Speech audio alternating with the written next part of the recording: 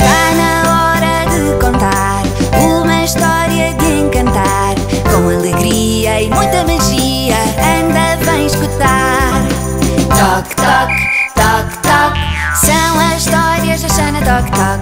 Toc, toc, toc, toc. São as histórias toc, toc. As histórias da Xana Toc Toc na quinta! O bode e a cabra.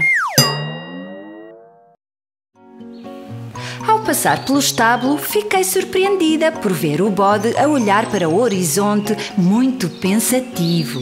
Estava com um olhar tão sonhador que fiquei logo curiosa e perguntei-lhe o que estava a pensar. O bode ficou atrapalhado e começou a corar. Adivinhei o que se estava a passar. O bode estava apaixonado. Que bom! Adoro histórias de amor.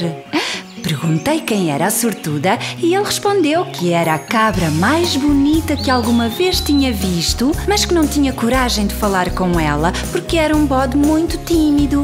Decidi que devia ajudar o meu amigo bode e fui falar com a cabra.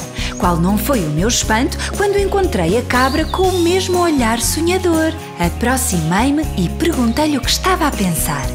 A cabra disse-me que estava muito apaixonada pelo bode, mas que não tinha coragem de falar com ele porque era muito tímida. Concluí que tinha de ser eu a resolver aquela história de amor entre o bode e a cabra.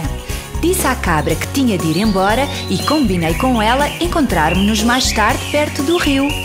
Depois fui ter com o bode e combinei com ele encontrar-nos também perto do rio. Claro que não fui até ao rio para que eles ficassem sozinhos. Fiquei à espera que eles voltassem do rio para perceber se tinha tudo corrido como eu tinha planeado. Esperei, esperei, esperei. Quando voltaram, estavam muito sorridentes e felizes e eu percebi logo que tudo tinha corrido muito bem. Disseram que se queriam casar e que eu seria a madrinha do casamento. Que orgulho! Fiquei muito feliz. Mil beijinhos da Jana Toc Toc.